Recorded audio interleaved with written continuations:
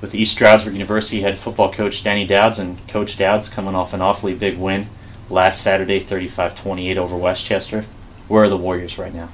Well, it's a step in the right direction. Uh, we're we're a, work in progress right now as a whole football team. Our, our young men are coming in, uh, trying to find out what Division two football is in a highly competitive atmosphere. I mean, West Chester they were ranked 24th. Bloomsburg this week are ranked sixth. We're going to play those kinds of teams. So therefore, you got to not only know what you're doing on the field, but you also have to be able to practice and play in a consistent fashion to be able to, to compete with those types of teams. And we wouldn't want to have it any other way. How does it feel out here in practice this week? Is it a little different than Thursday and Friday last week? Well, I, I think if you look at it, I think it reconfirms some of the things that uh, the veterans have been going through. The freshmen are wondering why they're, they're held to a tight leash in terms of making sure things are done in a proper fashion, paying attention to detail, uh, and, and, make sure that everything is executed and finished. And dealing with it. Sometimes they, hey, we didn't do this in high school. What are we doing here in college? Well, they, they learned a great lesson on Saturday why you do those kinds of things because when you get in a tight game, in a big game such as that, everything's got to be right there. And they've got to be able to have all of their tools right there. And the win on Saturday was in front of a big homecoming crowd. Obviously, the 1964 and 65 teams being inducted to the Hall of Fame, the 82 team with their 30th anniversary. What was it like with that atmosphere and the Warrior football family around you? Well, we told our squad that there's probably more former football players here than in this day than any other day we've ever played. And, what a great privilege it was for our kids to go out there.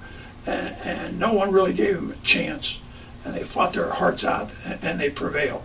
But they were they prevailed and they were able to share it with all those guys who wore their red jerseys. And every one of those guys have been in the PSAC playing teams such as West Chester, knew what the atmosphere was like, and to be able to relive some of their memories and, some, and also maybe uh, to talk to other guys and, and share their memories with them to be able to have our guys uh, maybe emphasize and highlight and magnify those experiences that they had here at East Stroudsburg University.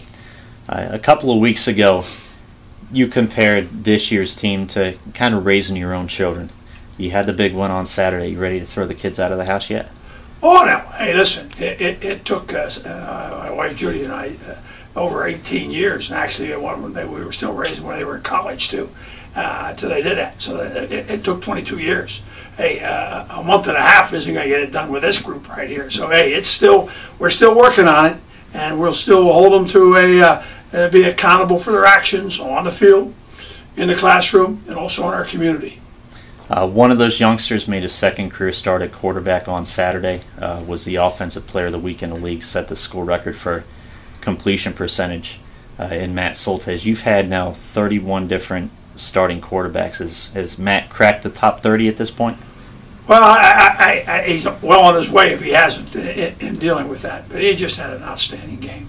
And we're all just happy for him to be able to start to put things together, which should be an exciting uh, career here at East Stroudsburg.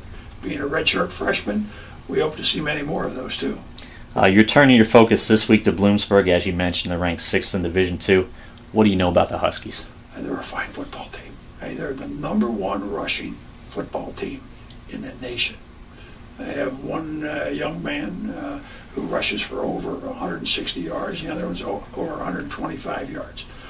Most teams would be jumping up and down if they had one kid that would rush for over 125 yards. So that, that's their attack, and they do it. And they do it very well, and, and we expect to have a heck of a battle out there. They also have some defensive players. Those two inside linebackers they got right there. They're they're uh, up there in, in, tackles. Their defensive end is, I believe, leading the league in sacks. Uh, and they're, they're, they're always a good football team, and it's always a great uh, university to compete against, and we're looking forward to it. And you'll have another familiar face across the sidelines from you on Saturday in Danny Hale. It's going to be the fourth matchup of 200 win coaches in Division Two. Uh, you've been fortunate to be part of two of the first three against John Luckhardt the last couple years. But what's it mean to be in a special situation like that? It means you're playing against another old coach too, and be able to help in that. But you know, it, it, it, it, we both look forward to it, I'm sure, and we both uh, know what we have to do to be able to, to try to get our teams to prevail on that uh, Saturday afternoon. And it should be another exciting battle between East Stroudsburg and Bloomsburg, and both teams, I'm sure, are looking forward to it. Well, Coach Douds, we wish you the best of luck on Saturday. Look forward to it, and thanks for your time. Appreciate that. It's always a good to see all the people that uh, came back for homecoming, and also the warrior spirit certainly prevailed on this campus last Saturday. Thank you, Coach.